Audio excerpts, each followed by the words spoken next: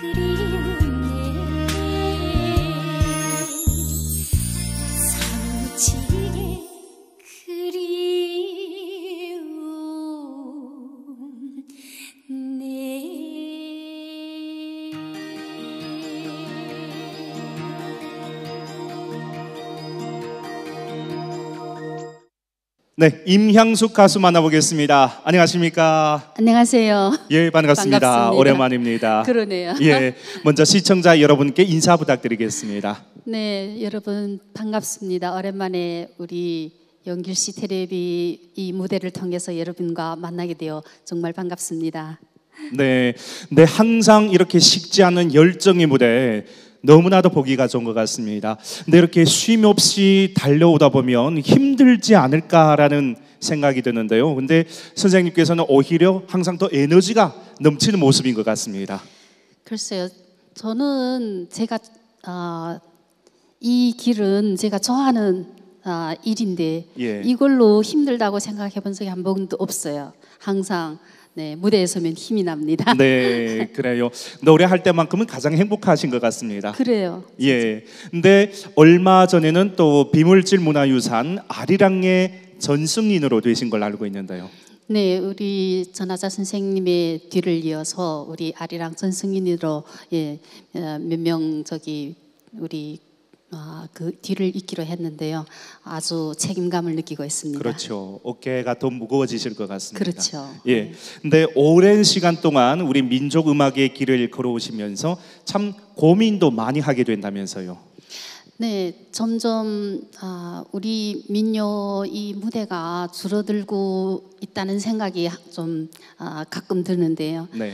아, 특히 지금 이 시국엔 또 더한 것 같아요. 맞습니다. 네, 정말 우리 이 민요가 아, 앞으로 여러분들이 많이 계속 좋아해주고 어, 우리도 많이 발전도 시키고 많은 사람들이 이 민요를 즐겨하고 네 그랬으면 좋겠다는 생각을 하고 있습니다. 네. 근데 아쉽게도 예전보다 조금 적게 불리워지고 예, 네. 좀 그런 많이 아, 그 적게 불려주는 것도 있긴 하다고 생각을 했는데 또 다시 요즘 보면은 네. 우리 어, 이 무대를 통해서 많은 분들이 그래도 어, 민요를 네. 어, 많이 좋아하고 또 이 무대에서 장기를 펼치는 모습을 보니까 아, 참말로 이런 무대를 많이 만들어 주셨으면 좋겠다는 생각을 갖고 있습니다. 그렇죠. 특히 임향숙 가수의 노래는 우리 노래 교실에서 어머님들이 엄청 좋아하시거든요. 그러게요. 제가 예. 한두 번 불렀는데 벌써 노래 교실에서 쫙 퍼졌더라고요. 맞습니다. 예.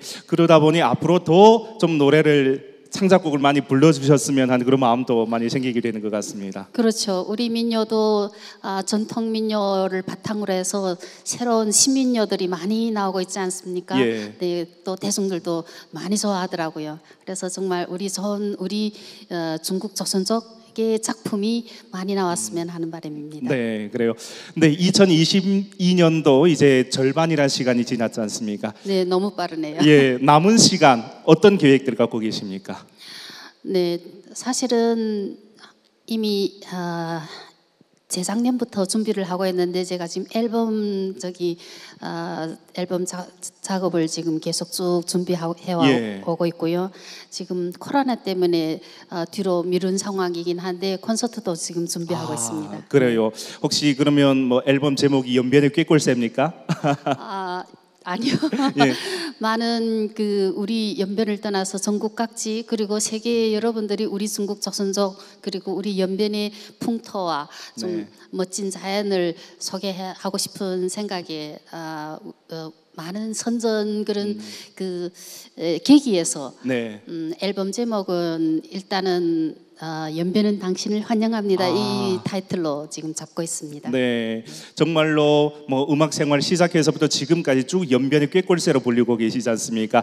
그런 만큼 앞으로도 힘들겠지만 더 많은 활약을 기대해 보겠습니다. 네, 예, 알겠습니다. 계속되는 무대 청해 보도록 하겠습니다. 오늘 나와 주셔서 고맙습니다. 네, 감사합니다.